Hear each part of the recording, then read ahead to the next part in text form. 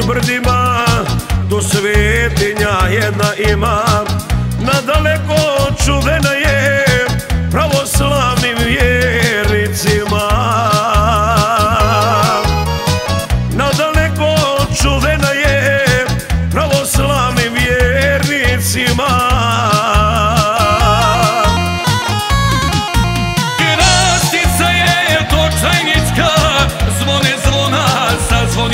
Jamaica.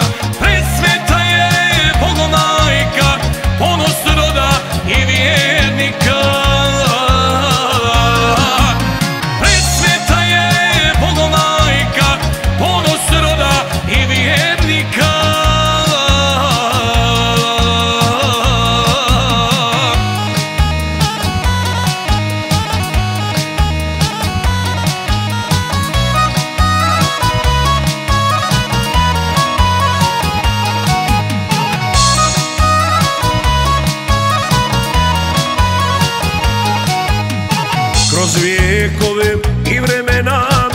Hodočaše vas da bila Gladne duhom nahranila I bolesne izliječila.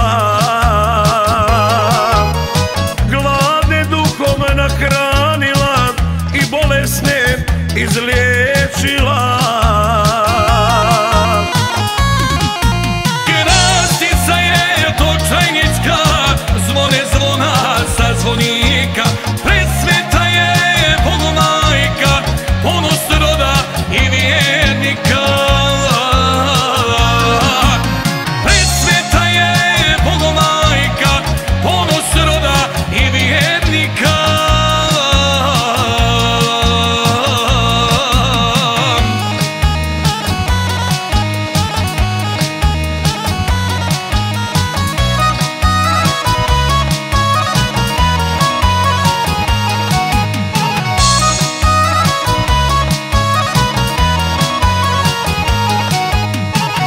njom kleče narod vjerni Za milost se Bogu molim.